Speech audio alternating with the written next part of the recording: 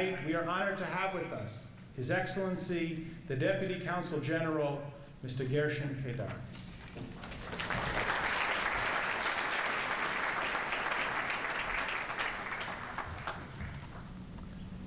Congressman, Congresswoman Schakowsky, state senators and representatives, Mayor Van Dusen, Rabbi Schwartz, Rabbi Moskowitz, Dr. Nassatir, Rabbanim, ladies and gentlemen. We are gathered here tonight to pay our respects to the victims of the recent horrific terrorist attacks in Mumbai, and particularly the murderous and cowardly massacre at Beit Chabad.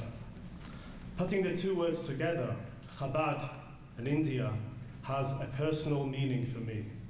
I was stationed at the Israeli embassy in New Delhi when Israel first established diplomatic relations with India in 1992. These were the years when India was becoming a popular destination for so many young Israelis. As an organization which knows how to recognize the needs of Jews, Chabad started their activity there even then, when two young Chabadniks were sent to New Delhi from New York three days before Pesach to organize the first communal Seder ever for Jews and Israelis in New Delhi. The whole event was organized by these shlichim, who took over the kitchen of a hotel in New Delhi, koshered it, and led an unforgettable Leil Seder, which was so meaningful for the more than 250 people who participated. This is one experience my wife and I will never forget and it so clearly epitomized the work of Chabad. Since then, Chabad activity in India expanded, and more and more shlichim have assisted many more Israelis and Jewish tourists to feel what it means to be a Jew in every corner of the world. I am sure each of you has come across the wonderful work of Chabad at one point or another in his life or in her life. But whoever thought that we would reach a day when, instead of celebrating their great achievements, we would rather gather to mourn the death of Chabad Shlichim in Mumbai. The work of Rabbi Gavriel Holtzberg and his wife Rivka, Zichronam Livracha, living in a place without a strong Jewish community, was for them surely a daily personal sacrifice. But it was so worthwhile for them, for every day was one of tikkun olam, by their embracing their fellow Jews, enriching their lives, and making them feel at home and with them found their death the other Kedoshim, each with a story, a family, and a future which will now tra tragically not come about. Jewish institutions, synagogues, and embassies of Israel around the world have been the targets of terrorist attacks in the past. For its part, Israel has shown that the most decisive and effective response to terrorism is not deterrence, for how can terrorists willing to commit suicide be deterred? but rather through a, through a proactive synergy of both defensive and preemptive activities with intelligence gathering at its heart. And Israel is, of course, ready to share her experience with all countries facing the scourge of terror.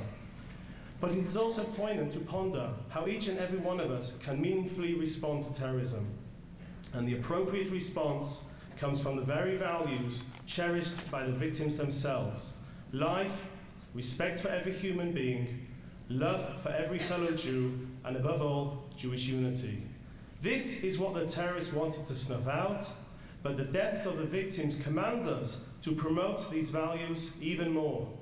The terrorists want to destroy, we will answer through Tikkun Olam.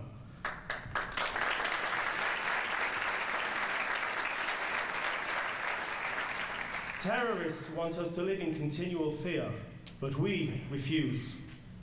And just as in Israel after terrorist attacks, Israelis deliberately returned so quickly to the coffee shops, restaurants, and buses, so Chabad will surely, Bezrat Hashem, speedily renew their work in Mumbai and rebuild the Chabad house better and bigger than ever before.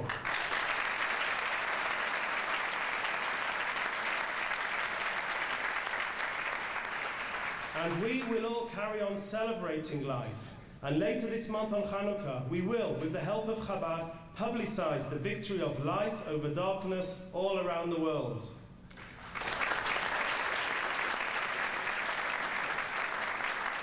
And it is incumbent upon us all to further the mission these Kedoshim were, were trying to promote, that of Jewish unity. unity between Israelis and non-Israelis, and between religious and non-religious. Throughout our history, we have witnessed so many tragedies, and only by our unity have we overcome.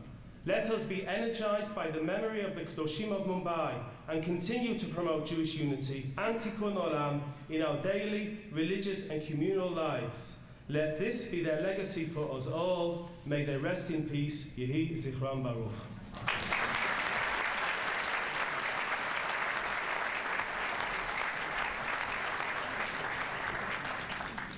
When the Rebbe